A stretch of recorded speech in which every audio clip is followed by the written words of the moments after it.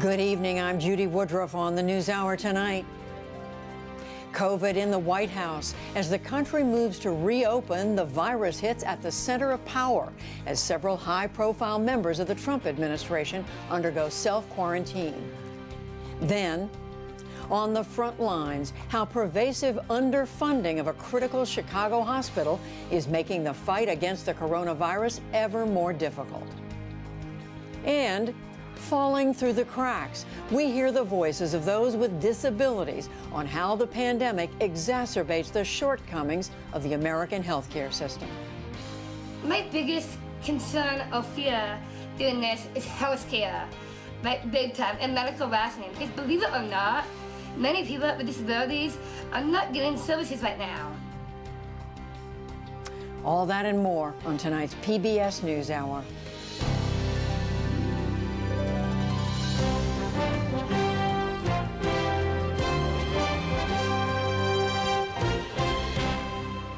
Major funding for the PBS NewsHour has been provided by Life isn't a straight line, and sometimes you can find yourself heading in a new direction. Fidelity is here to help you work through the unexpected with financial planning and advice for today and tomorrow. BNSF Railway, Consumer Cellular, Financial Services Firm Raymond James. The Chan Zuckerberg Initiative, working to build a more healthy, just, and inclusive future for everyone at czi.org. The William and Flora Hewlett Foundation, for more than 50 years advancing ideas and supporting institutions to promote a better world at hewlett.org. And with the ongoing support of these individuals and institutions.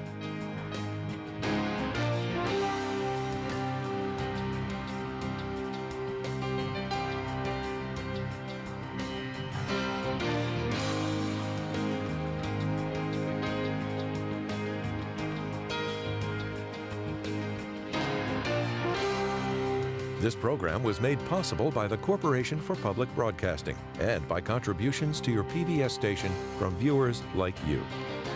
Thank you. As of tonight, COVID 19 has taken the lives of more than 80,000 people in the United States. The pandemic has also infected well over 1.3 million people nationwide, including now some in the White House. We begin with our White House correspondent, Yamiche Alcindor, and the day's developments.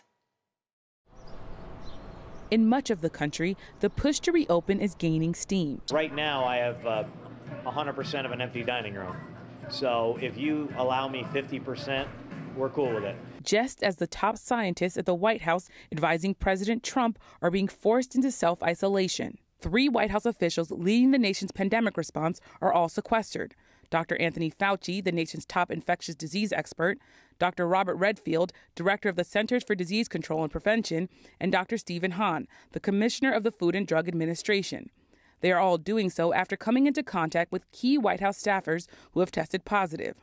Today, the White House directed all West Wing staff to wear masks at all times in the building except when they are at their own desks. Today, at a briefing in the Rose Garden, Thank President Trump weighed in. We have a lot of people coming in and out. Uh, many of those people, most of those people are tested depending on what portion of the Oval Office area they're going in. Everybody coming into the president's office gets tested and I felt no vulnerability whatsoever, John. But President Trump uh, disputed suggestions that while testing is readily available at the White House, it is still not for the general public. We're number one in the world by far, by a factor of two and even three and four, depending on where you're looking.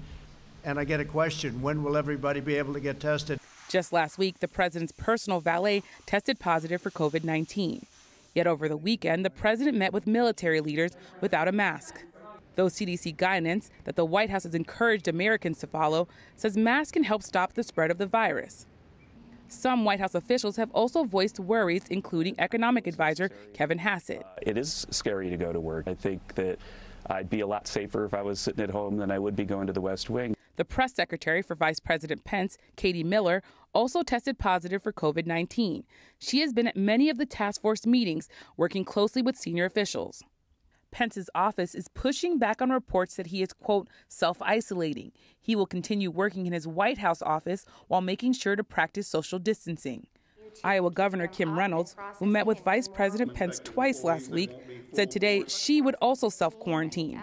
All of this comes amid reports that in recent weeks, the White House mishandled efforts to collect and distribute personal protective equipment. But the president continues to strongly defend the response. He rejects criticism that states lack testing to ensure they can safely lift restrictions. Instead, he is pressing for businesses to reopen. We have to get our country open again, and you see it. Look, you cover it. People want to go back. You're going to have a problem if you don't do it. Pressure to reopen the economy comes as U.S. unemployment reaches its highest rate since the Great Depression. In April, more than 20 million Americans filed for unemployment. Treasury Secretary Steve Mnuchin told CNBC today he is optimistic about the potential effects of reopening efforts. But I think the numbers are going to be getting better as we go into the summer and we reopen the economy, and that's the important issue here. Meanwhile, New York State, which had been the nation's hottest spot in the pandemic, today laid out plans to reopen. That comes as the state hit its lowest daily death toll since March. In Rochester, Governor Andrew Cuomo said in some regions, low risk businesses and activities can restart after May 15th. We're talking about a phased reopening. That's what uh, everyone basically is doing. The question is, uh, moderating that phasing and doing it intelligently. At the same time, a new CDC report found that deaths from the coronavirus in New York City may actually be some 5,000 higher than the official tally. Many of those have been in nursing homes. The White House today recommended testing more than a million nursing home residents and staff nationwide in the next two weeks. And Yamiche joins me now, along with our own William Brangham.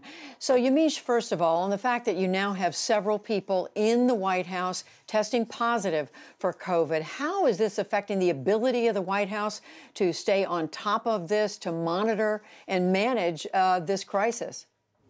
Judy, it's pretty remarkable. Of course, the country as a whole, the world as a whole, has been upended by the coronavirus, but the White House itself, its functioning, has been completely upended by this virus. You have multiple people now that have worked inside the White House who have tested positive, people who have worked closely with the president and the vice president. You now have the vice president not co- completely self isolating, not completely in self quarantine, but officials tell me that he's keeping his distance and trying to lay low. You also, of course, have those top scientists who are now going to be testifying before Congress Congress on remote because they too are self isolating after coming in contact with someone who is now tested positive. And then you have this remarkable thing that happened today, which was that the White House said every West Wing staffer is now going to have to wear a mask. The only reason why I'm not wearing a mask right now is because I'm literally standing very close to the White House, but not near the White House. When I'm inside, I'm wearing a mask. The person who isn't wearing a mask, President Trump, he said that he does not feel as though he needs to wear a mask and he's not close to anyone. But there are a lot of questions still there on whether or not the president himself might start wearing a mask because that because every staffer in the White House is now being told they need to do that to stop the spread of this virus. So, Yamiche, we know the president spent uh, part of the weekend uh, criticizing a number of people. What do we know? What more do we know about his managing, his handling all of this? That's right, Judy. The president spent the weekend and today lashing out at people that he sees as his opponents, talking about the media, talking about Democrats, saying that they're really out to get him. He talked about the fact that the media is the enemy of the people. And if you look at all the tweets that he sent, I think we're putting them up for people. They're just all sorts of tweets where he's going after dozens and dozens of tweets. The president, of course, has been known to tweet and been known to want to, to use his millions of followers as a way to talk to the American people. But in this regard, it was something that was really quite different than what he's done in the past. One thing thing that is different is that President Obama, there was some leak audio of him saying that, that the president, oh, that President Trump's reaction to the coronavirus was a quote chaotic disaster. So the president has been talking about the fact that he doesn't like that Obama was criticizing him. One other thing, the president held a briefing today in the Rose Garden. He talked about testing. He stressed that any American who wants or needs a coronavirus test can get a test. There are officials, of course, and governors that are pushing back on that, Judy. And, and at that point, I want to bring William in because, William, you've done a lot of reporting uh, on this. What do we know about whether what the White House is talking about is adequate uh, for what the needs are, and in particular for people, for businesses to feel comfortable for every place to open up? I mean, according to all public health experts, we are nowhere near enough testing in this country. I mean, the president touts that we are doing a record number of tests. And while that is true, we have never tested for coronavirus at this capacity. We are nowhere near what needs to be done in order to really get our hands around the epidemic that we are suffering under. Um, the estimates vary. I mean, we are at about 300,000 tests being done per day. That sounds like a lot, but Harvard's Global Health Institute last week put out a study that estimated that we needed to be at 900,000 tests per day. So we are a huge gap. We're only a third of the way there. I mean, we heard from Caitlin Rivers uh, testified before Congress. She's a an expert at Johns Hopkins University. She told Congress last week that while the estimates vary, we could be needing three and a half to tens of millions of tests per week. We are nowhere near there. So, regardless of what the president says and says how we are putting out a record number of tests, it's still not enough. And again, the thing that we keep hearing is of course, we need to get the economy open. People want to go back to work. But as a business owner, as someone who runs a restaurant or a nursing home or a meatpacking plant or any of the places that we've seen suffer outbreaks, how can you legitimately bring people back to work if you can't tell who is sick and who is not. That is a recipe for more outbreaks. And that's the problem we have. This gap in testing leaves us vulnerable to seeing uh, an increased spike in cases. So, William, to be concrete, what do we know about the administration's record on delivering uh, widespread testing and how that compares to what the president and his team are saying? Well, we have seen a series of statements put out by the president and by the White House that are frankly not accurate. The president, at that infamous meeting when he was down at the CDC, said anyone who wants to get a test in the country can get one. We know that is not true. To this day, that is not true. There are places all over the country, and again, not every state is the same, but there are places all over the country where people are desperate for more testing, need more testing, they can't get it. That that is not accurate. Back in March, the White House promised that we would have 27 million tests by that month. That is not true. Many people have criticized the president's unwillingness to really use the Defense Production Act to try to address some of the critical shortages for the testing materials, the swabs, the chemicals, the protective gear that you need to build a robust testing system. We were promised uh, drive through testing centers at Walgreens and Walmart and all over the country. Very, very few of those have actually opened. Google was supposed to open a website that was going to direct people to testing. That has not come through. So, again, the thing that's, I think, frustrating to a lot of public health experts is that they argue if you really want the economy to be growing again and to get people out of their homes safely and back to work, you have to know who is infected and who is not. And the first step in that process is testing, and we are just falling down on the job in that regard right now. And William, we heard the president again today and an HHS official both say that anyone who wants a test can get one. That is what they are saying at the White House today. William Brangham, Yamiche Alcindor, thank you both. Thanks, Judy. You're welcome, Judy.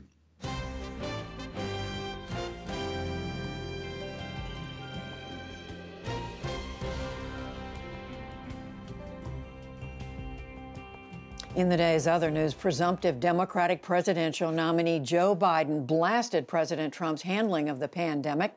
In an op ed for the Washington Post, Biden wrote Trump should be working to get Americans the same necessary protections he has gotten for himself.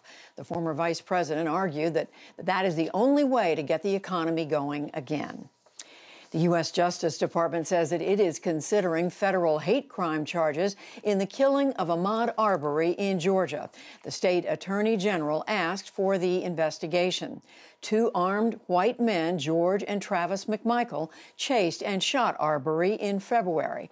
They were charged with murder last week after video of the incident went viral. The U.S. Supreme Court heard more arguments by phone today on whether religious institutions can be sued for employment discrimination. Two former Catholic school teachers in California tried to sue their schools after being let go.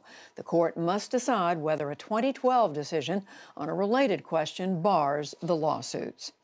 In Hong Kong, police have arrested more than 200 people after pro democracy protests on Sunday night. They're accused of setting fires and blocking streets. Earlier, demonstrations broke out in shopping malls around the city. Protesters said that police are using COVID 19 to stifle opposition.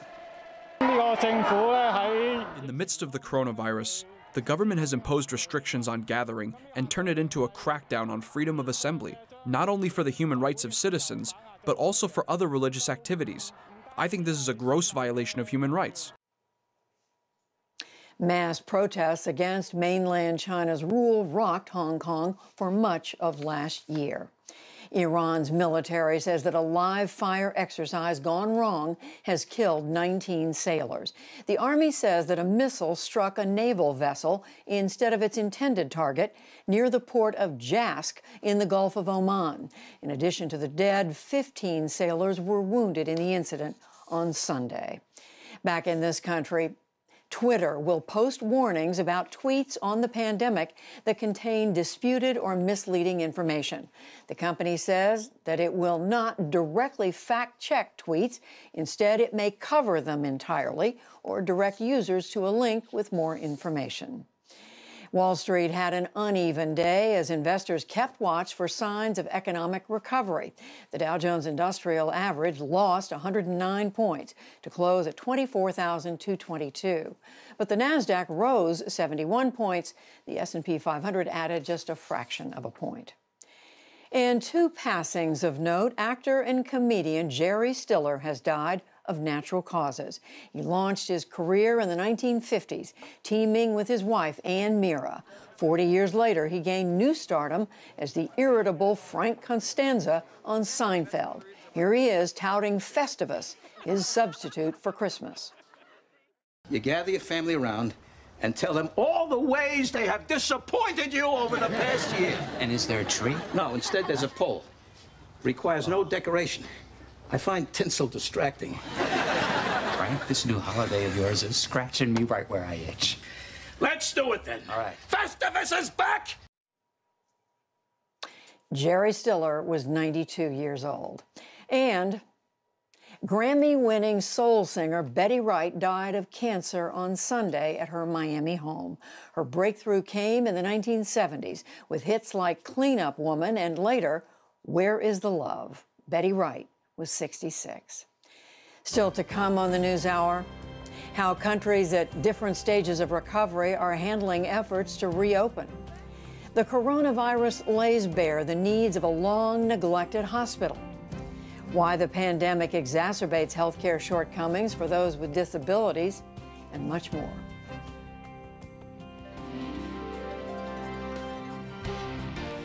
This is the PBS NewsHour from WETA Studios in Washington and in the West from the Walter Cronkite School of Journalism at Arizona State University.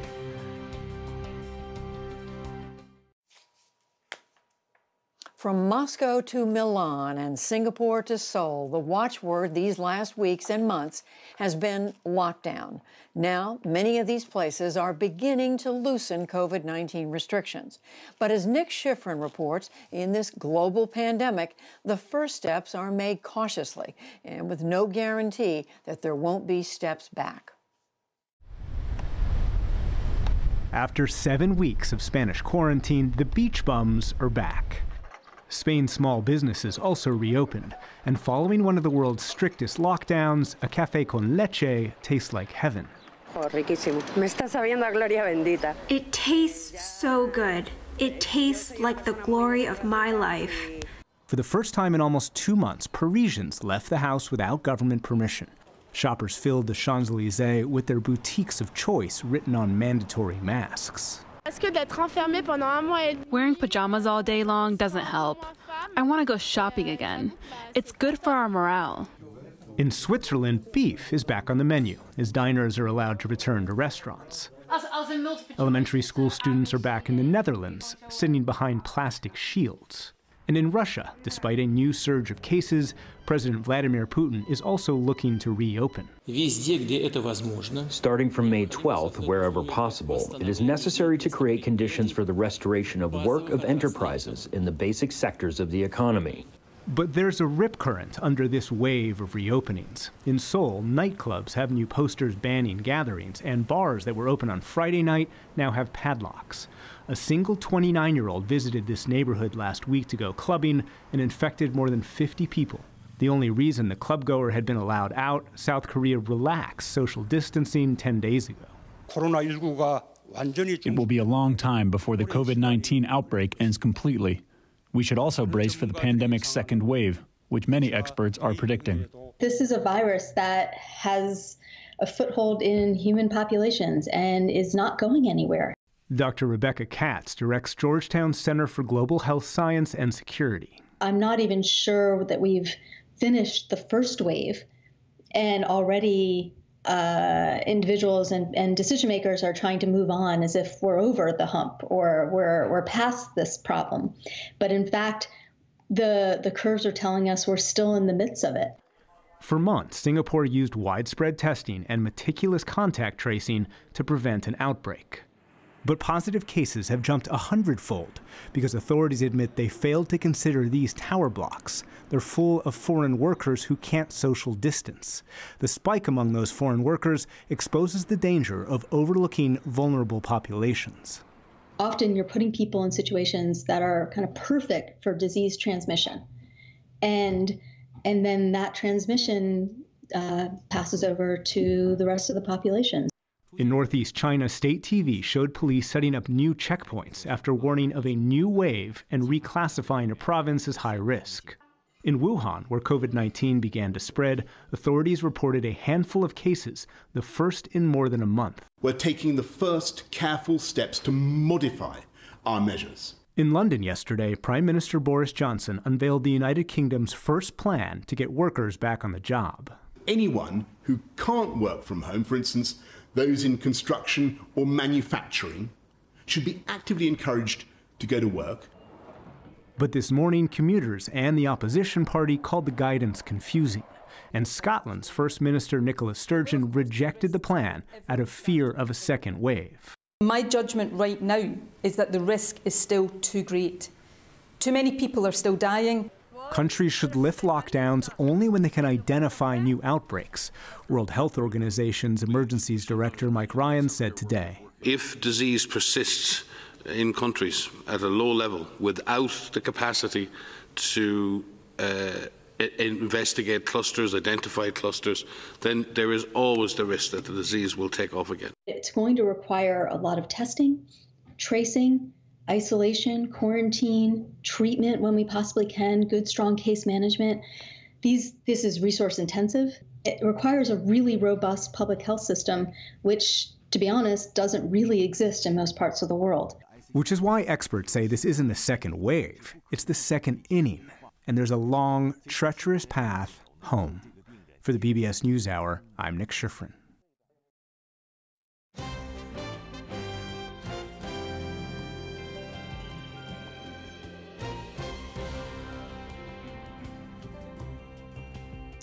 Congress has appropriated roughly $175 billion so far to help hospitals and other healthcare providers weather the consequences of this COVID pandemic.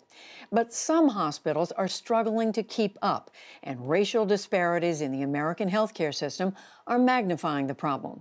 William Brangham is back with our latest conversation he recorded earlier from the front lines of this crisis. We go now to the city of Chicago, a city that's dealing with its own rising outbreak.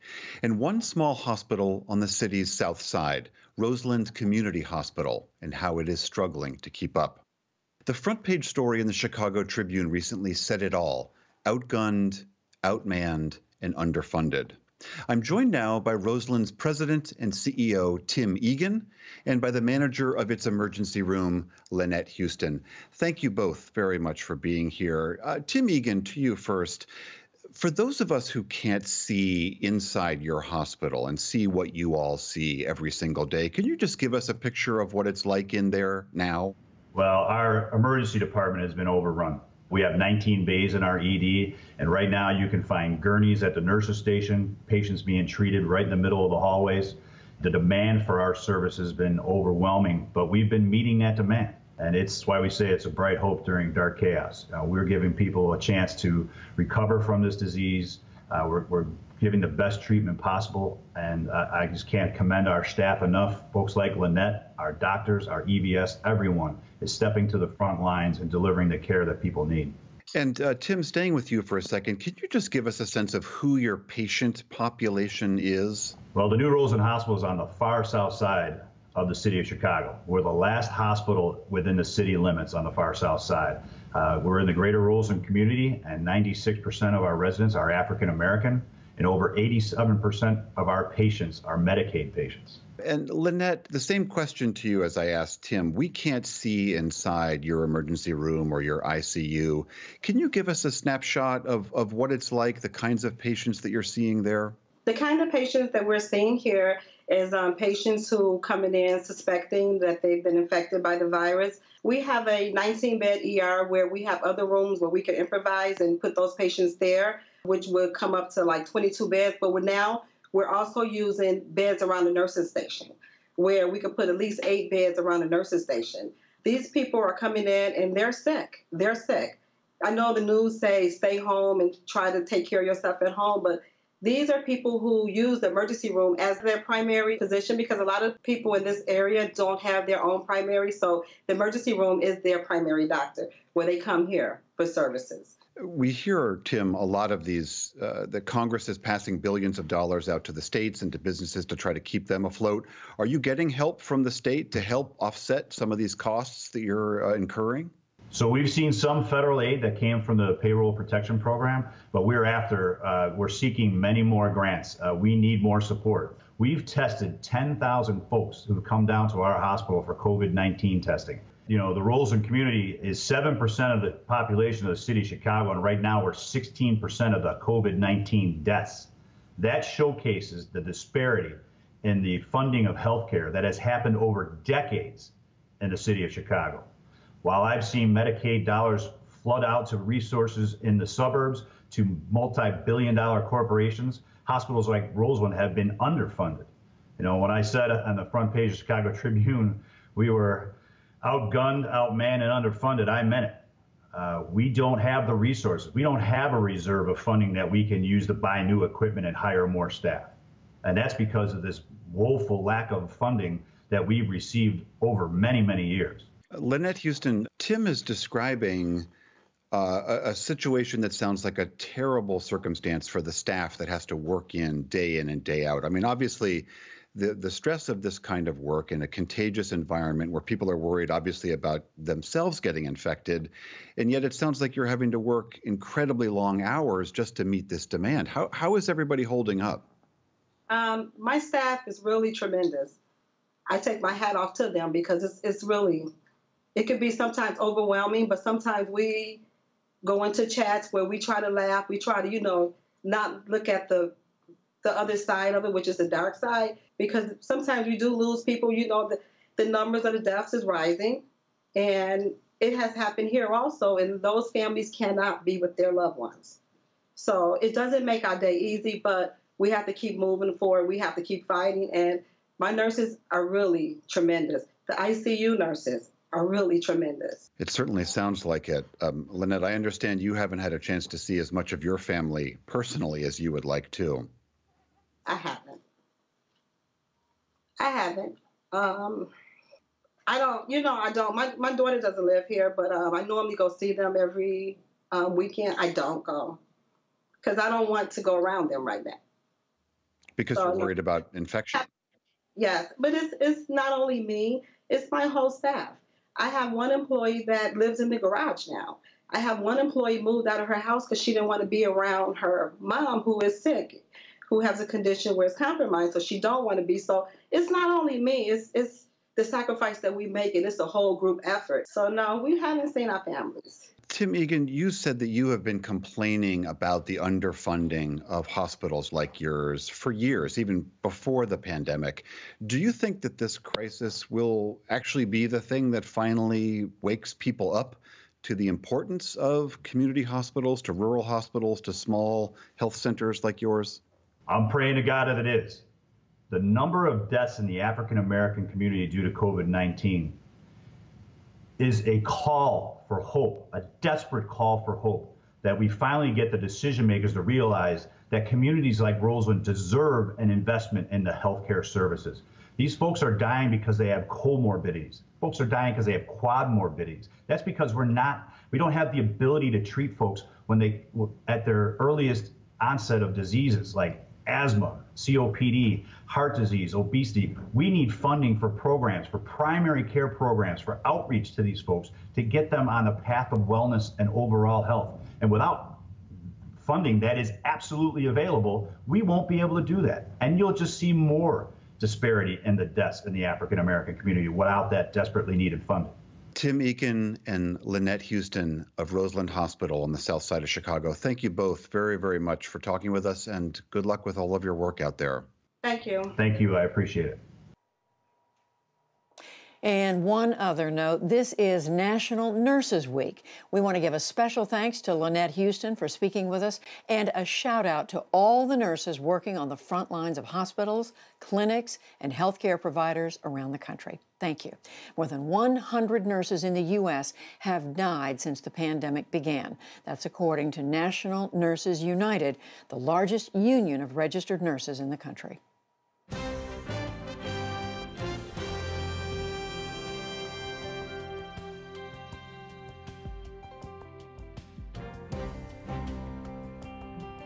For more than 60 million Americans with disabilities, the rapid spread of COVID 19 is particularly dangerous. Many live in long term care facilities, which are at greater risk for coronavirus deaths. These Americans also are two times as likely to live in poverty as someone without a disability.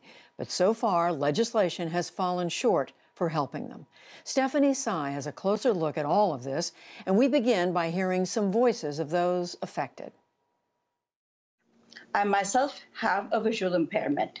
I'm a wheelchair user. I am also an advocate with Down syndrome. I have a genetic physical disability called Larsen syndrome. I work in a day program.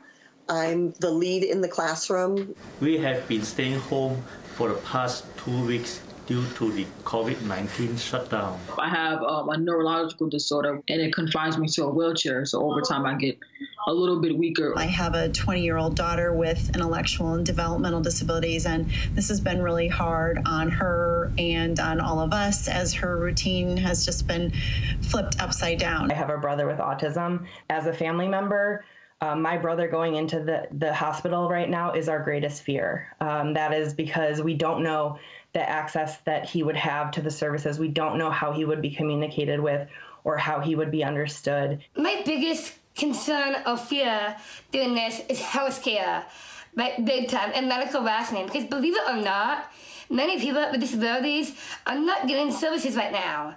My husband is my primary caregiver. If he were to get sick or called back to work, before I have to go back to work. Insurance will not allow me to get a home health aide that they'll cover because of the fact I work full time. Shouldn't I love to be able to go to work and to get a paycheck, right? Yes. It is also a place where he can develop his artistic talents.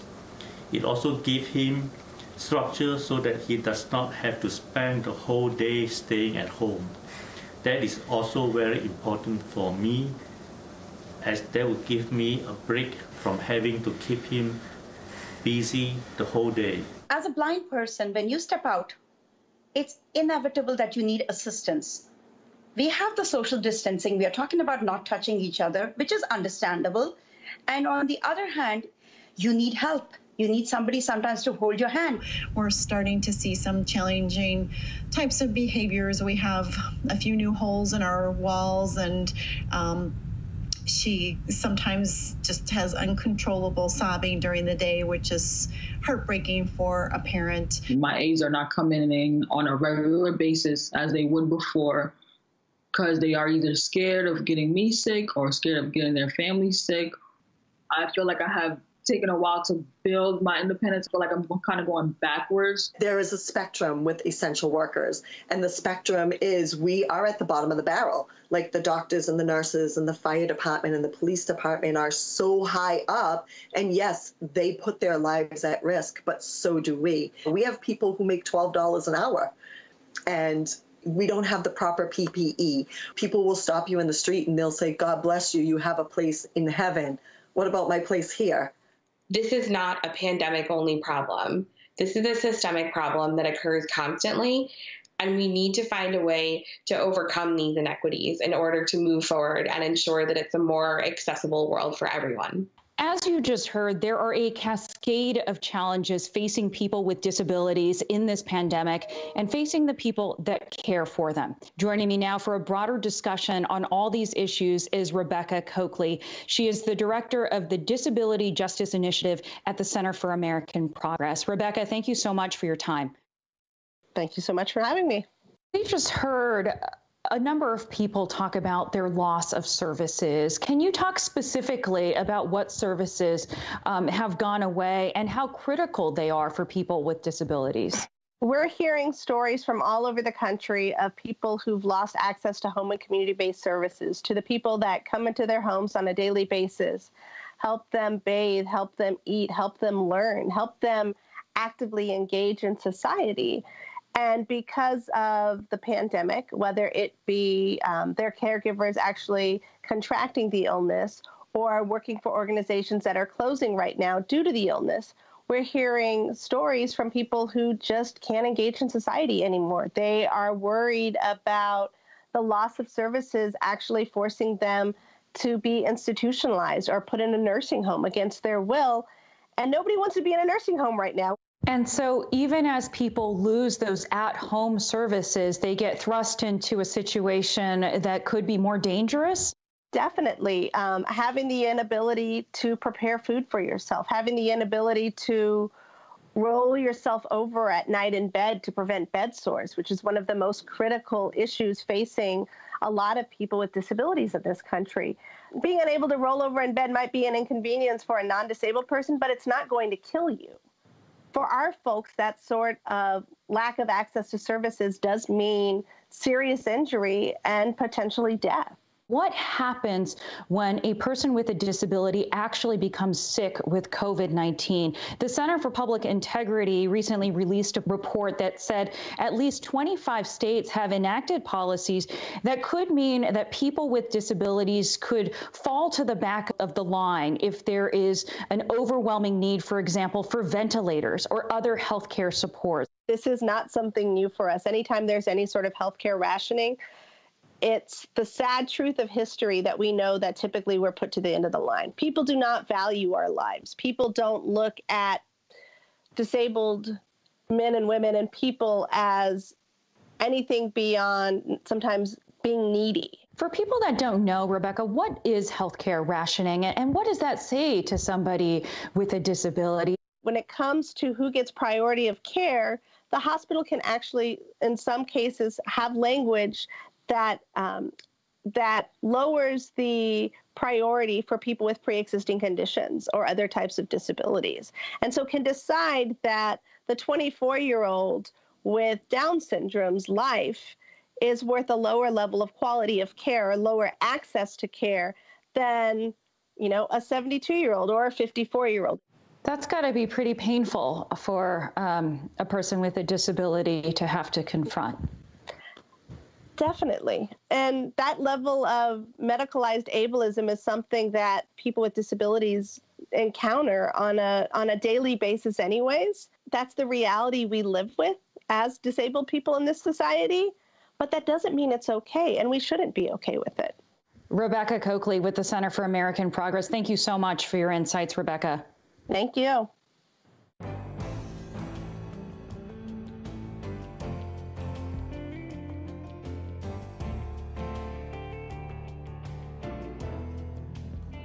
New infections inside the White House challenge President Trump's plan to reopen the economy. And two special elections this week offer insights into what voting could look like in November. Here to break down all this and more, I'm joined by Amy Walter of the Cook Political Report and host of Public Radio's Politics with Amy Walter, and Tamara Keith of NPR. She also co hosts the NPR Politics Podcast. Hello to both of you. Tam, let me start with you uh, and bring up something that we raised much earlier in the program, and that is here you have the White House pushing the country, the president pushing the country to reopen as much as possible uh, to try to get the focus away from uh, the health side of this pandemic. But you've got people who work at the White House coming down with COVID, testing positive for COVID. How does that complicate what they're trying to do? Well, it certainly complicates the messaging. And, you know, the way the White House has been dealing with the safety of its own employees has been to rely very heavily on testing in the last month or so. Uh, to rely much more heavily on testing than on social distancing, though testing that is not widely available for the rest of the public. Mo- most workplaces don't have a, a, test that they could just administer to every employee as they come in.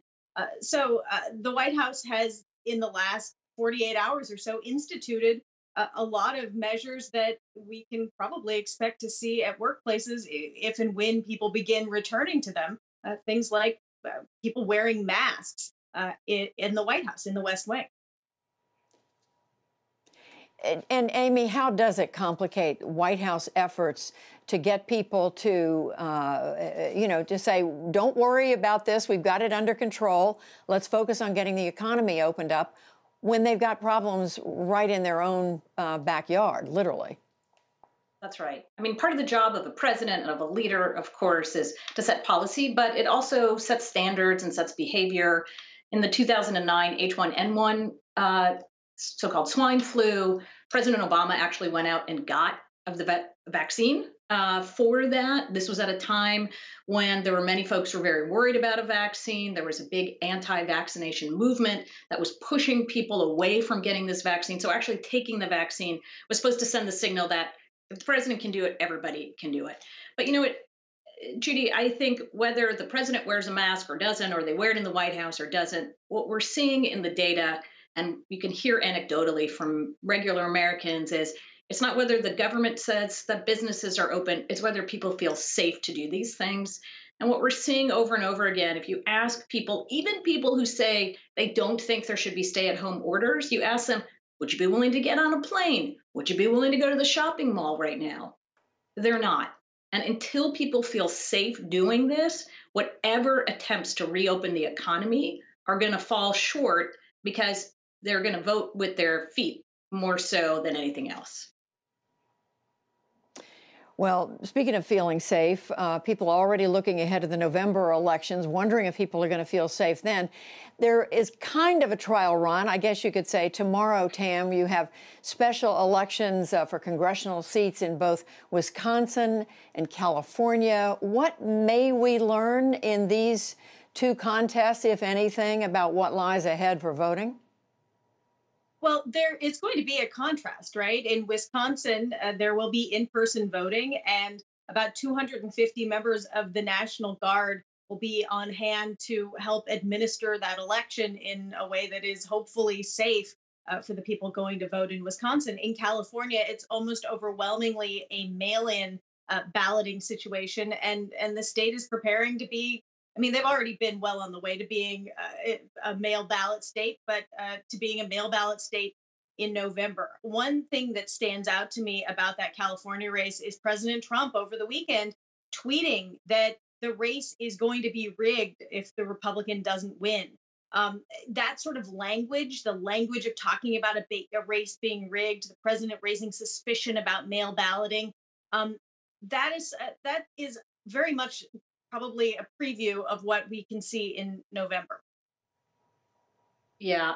I and agree. Amy, what about just in, in terms of go ahead? Yeah. Yeah, well, I agree with with Tam here, which is the tweeting out about the worries about the rigging and all. I mean, this is just a one time election. As we get closer to the fall, and in many cases, we may see that ballot counting may take days because so many people vote by mail. This kind of uh, sort of sowing the seeds of distrust even as the process is undergoing. Just remember when we were counting those hanging chads all those years ago. Now imagine that with this level of toxicity. That's super dangerous.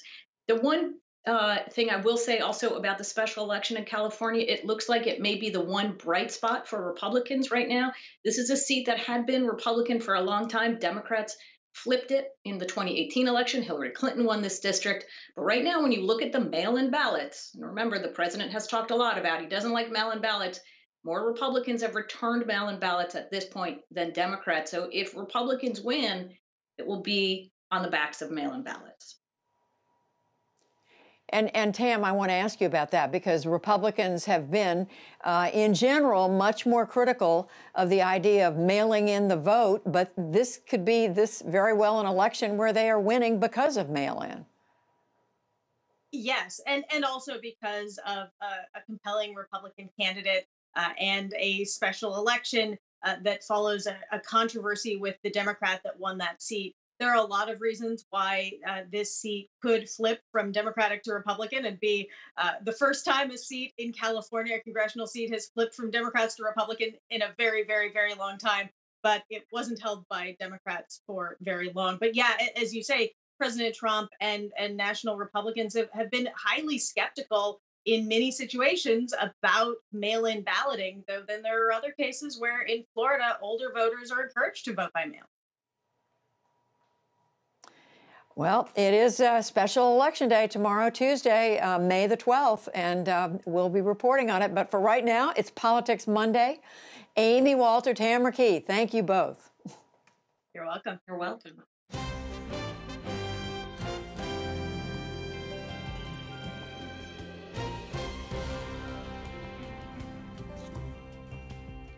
Coronavirus has upended life as we know it, but what has it meant for those trying to date? Lisa Desjardins has that story. The empty restaurants, theaters, and closed public spaces across the country are meant to keep people safe and apart. That has made dating, the search for being together, just strange someone said to me like after the pandemic i'd love to cook you some spicy food. And i was like what a weird pickup line. You're trying to build that foundation without a lot of the same tools and interaction that you would normally have. I had this grand idea that we'd be sending each other letters or you know something romantic.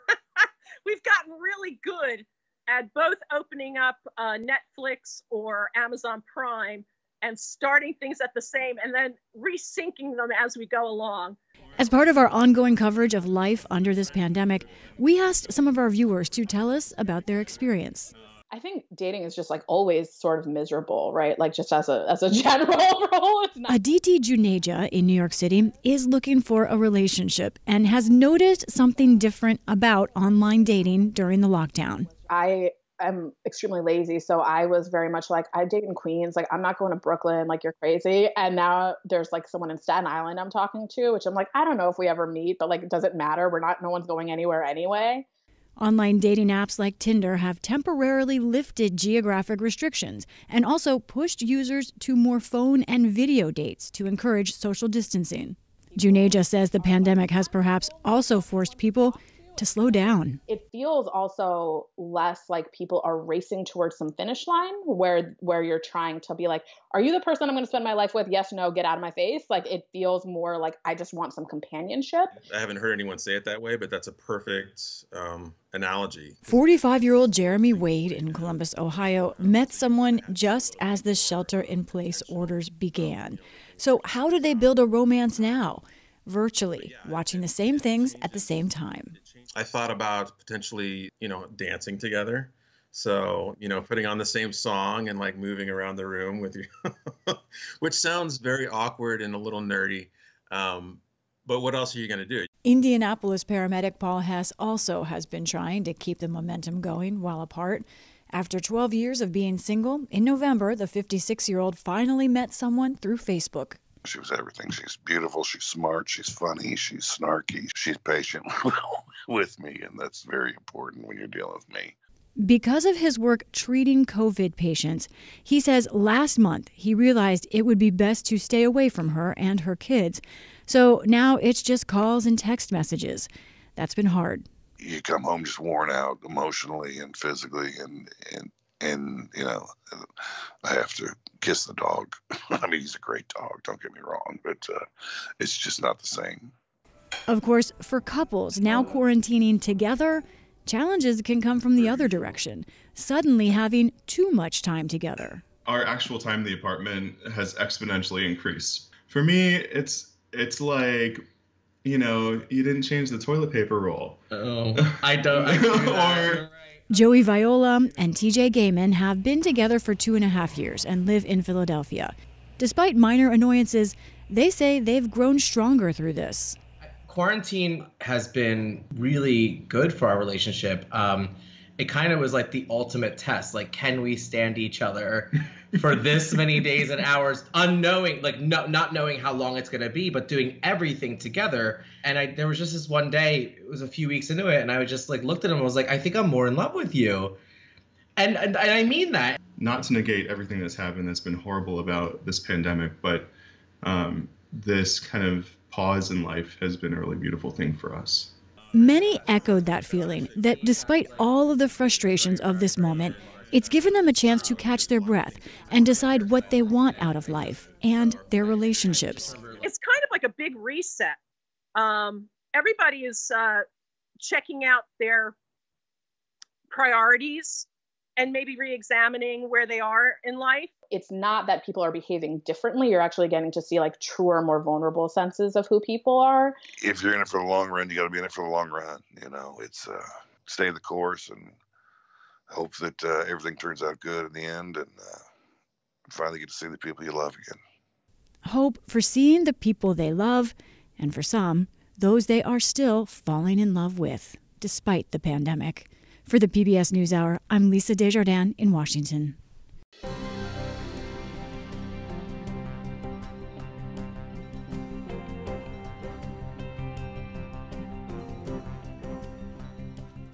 Finally, tonight, amid these difficult times, we wanted to acknowledge the outpouring of interest in the furry creatures who keep some of us company, on and off camera, and to those pets who are becoming part of the NewsHour family on social media, too. It started with a crawl. Viewers writing in about feeling reassured and intrigued by seeing our correspondents' beloved cats in the background as they report from home on the NewsHour every night. To some, the background became front and center in their mind, overriding the news at times. One viewer, Paul, wrote, My wife and I get ready for the NewsHour wondering, will William Brangham be on? Will the cat be on the sofa? Will it be awake? Will the PBS logo obscure it? And to Lisa Desjardins, viewer Craig wrote, My cat was watching your cat dig into the crack in your sofa, and he pointed out to me that he felt your cat was getting treats, and it's just not fair to other cats. So we wanted to reveal now what there's been a clamoring for. This is Pepper. William's cats are all rescues. 10 year old Pepper, the TV star, and also Tiki and Sugar, who don't gravitate to the limelight. Who is the good girl? There's also Macy the dog, but she isn't allowed into the interview room because she's a barker. And Lisa's. This is Rocky. Like Williams, he's a rescue cat. He's a southpaw.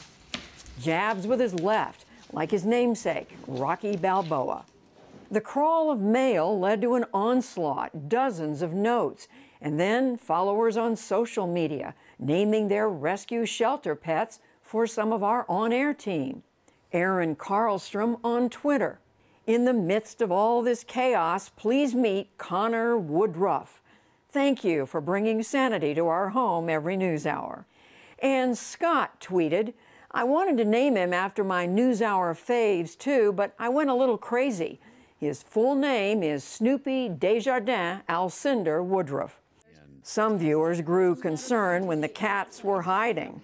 One wrote in all caps, Where was the Brangham cat tonight?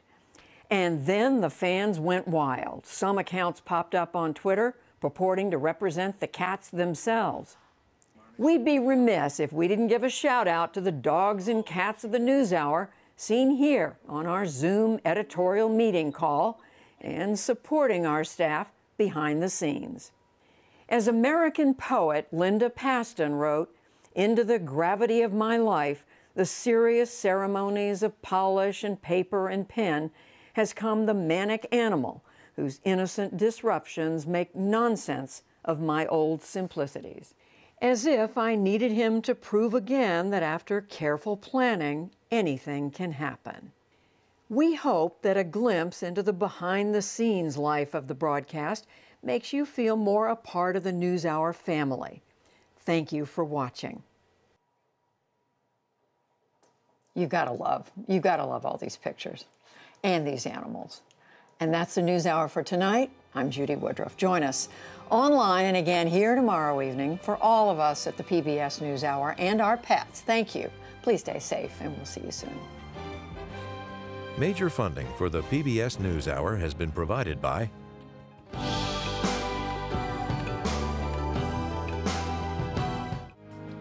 BNSF Railway,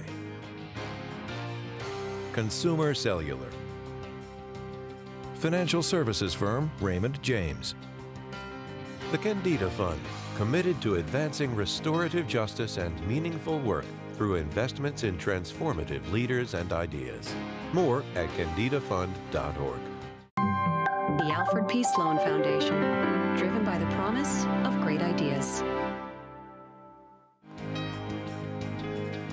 Supported by the John D. and Catherine T. MacArthur Foundation, committed to building a more just, verdant, and peaceful world. More information at macfound.org. And with the ongoing support of these institutions.